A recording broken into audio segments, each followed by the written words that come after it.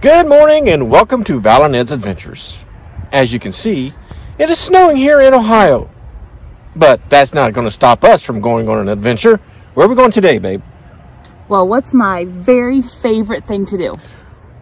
Well, your very favorite thing to do would be sleep. Besides that, Oh, besides that, probably traveling. exactly. So today we're going to go to the AAA Travel and Vacation Expo. All right, well, let's go. Okay, so it is sometime later. Um, we have finished at the Travel Expo, and we're going to be honest, we debated whether to post this video or not. We weren't sure what to expect from the expo. Um, we had a really good time. We talked to a lot of people at different booths. I have a bag full of brochures for future adventures, um, but the actual vlog wasn't probably too exciting for our viewers. Right. So we appreciate you watching.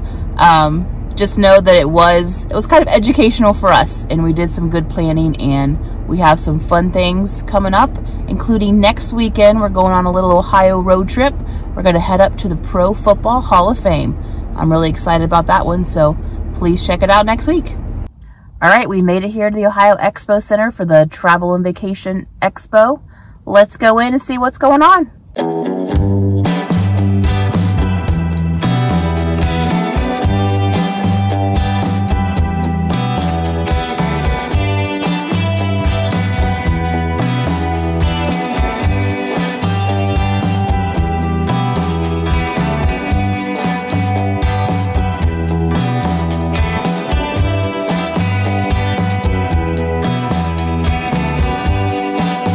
Okay, we just got in here to the expo. It's a little overwhelming. There are tons of booths, vendors, there's cruise lines, there's travel agents, tons of stuff.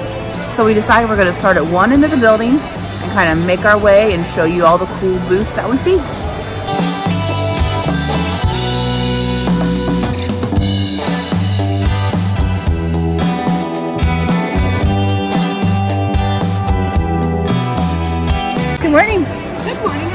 I'm good. How are you?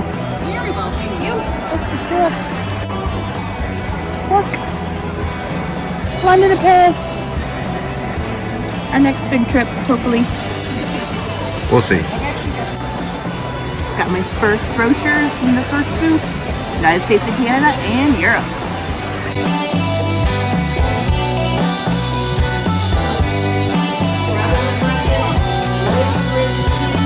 Tourism Ohio, Viking Cruises, Visit Anchorage, Travel Juneau, Revolver, and Spring. These directions, be sure to visit the AAA Floor Store located in the center of the expo. I got a car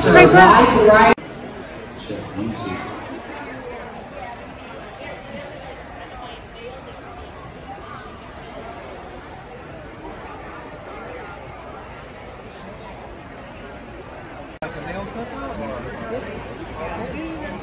wide variety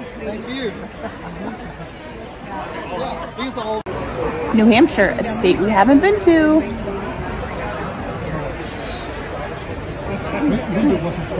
I'm entering to win. Yes. What time of year was it?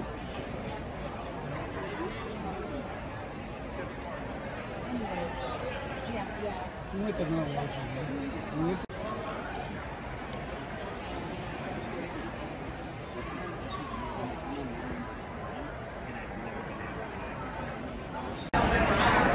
been here. It's that African wildlife safari tour. If you missed that video, scroll back a few and check it out. Babe, I want to go there. I have a feeling that we will soon.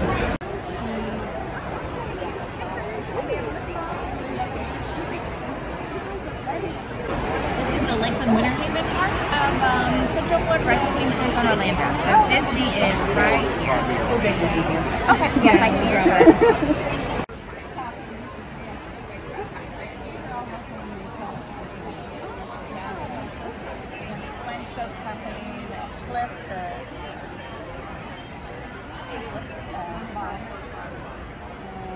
uh,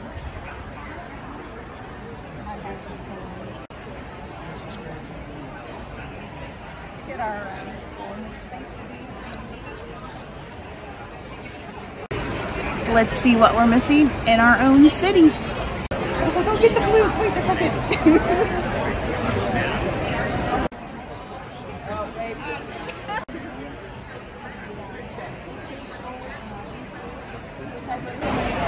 Can't wait to see this on our next Disney trip.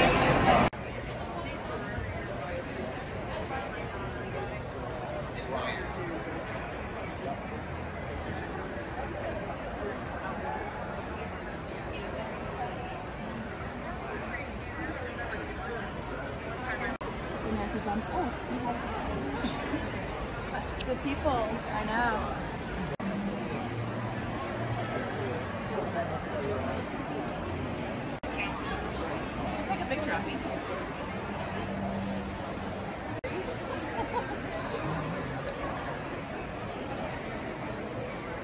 Hocking Hills is actually where we spent our wedding night.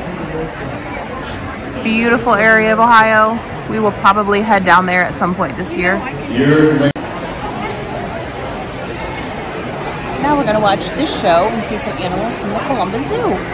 Tim is her cousin. He's a little bit bigger, but mostly the males, they just have a lot more fur, and that makes them look real big, and they get kind of real fluffed up. She sort of looks like a little bear when she sits like that, doesn't she? Now, that tail that you're looking at is fully prehensile. Now, prehensile, what's that mean? Anybody want to raise your hand? You can use it, you can grip with it, right? So with that tail, she can actually support her whole body weight. Gotta explain something about this animal. This animal here, this is Scarlet. Scarlet's an 11 month old red kangaroo. Now I can say and tell you without a shadow of doubt, there is no key at like 13 years old. That's what this is right now. So don't, she looks like a baby. We can call her a Joey because she's in a pouch. But um, mom was was done with her at about the six month mark, which is which can be which is pretty average. It's a little bit young for mom being like, all right, you know, I've got to make more room. But six months old, not too bad. The problem was, or the reason that we have her, was at the same facility that we got her from. There was another kangaroo that we have named Bindi. This is obviously an American bald eagle, right? How many of you guys are paying attention? No, no, no. This is a oh, very affectionate penguin. Now, this penguin has a name. You'll see it on her little uh, bracelet that she's got on there. Her name is Chovy. Uh, we named her after an anchovy, obviously. In our department, our, an- our animal programming department, we have a separate colony of penguins that when you go to the zoo and you go see our penguins at the Columbus Zoo, what you're seeing, those are Humboldt penguins. Those are South American. They do for our department, for animal programming. We got three eggs from another facility. Uh, one, only one ended up being viable, and we were candling them, which where you hold the little egg up, and you could. I mean, I've seen her from when she was just like a little string, and then a clump of cells in that egg, to where she is now. And you would go down there, you'd have to turn the eggs, uh, you'd have to check temperatures. So this is Grover. And Grover is called a hyacinth, a hyacinth macaw. Um, some of you may, you know, the, the movie Rio. They had Blue, the, the, the bluebird from that movie. This is sort of what uh, it, it, that is based on. Um, they should have just gone with the hyacinth. I think she actually looks better than Blue from Rio because of the yellow that she has. That's actually her skin that is that bright yellow. So here's Jeff.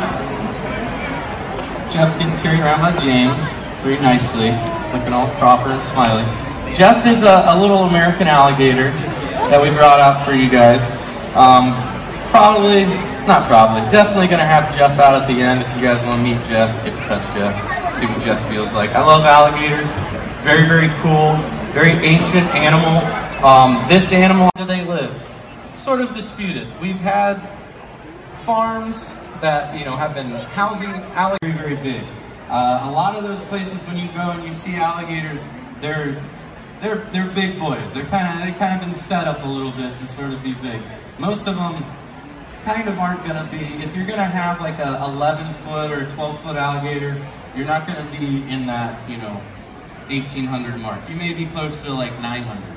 You know, we're, we're talking almost twice twice as tiny. This next animal coming out, for me, wasn't exceeded expectations. You know, you when you think about sloths, okay, you kind of think about an animal that just really doesn't do anything. Um, sloths do stuff, believe it or not, and uh, they can move really, really fast. Bite, believe it or not. Sloths have teeth inside of their mouth that would surprise you. Um, they don't technically have teeth, so I said the wrong word already. They're, they're technically toothless mammals. So sloths, armadillos, and anteaters are, are all on the same. Inside of Sid's mouth, he's got four triangular shaped, constantly growing teeth. Um, to the point where if we don't give Sid enough things to keep him ground down, like he'll get vampire fangs. Like they'll start to come out his mouth a little bit. Um, we do try to do our best, like to give him a lot of different options as far as stuff to chew on. But if we need to go in and do a, a, a tooth trim, it's it's literally quicker than a nail trim on a sloth.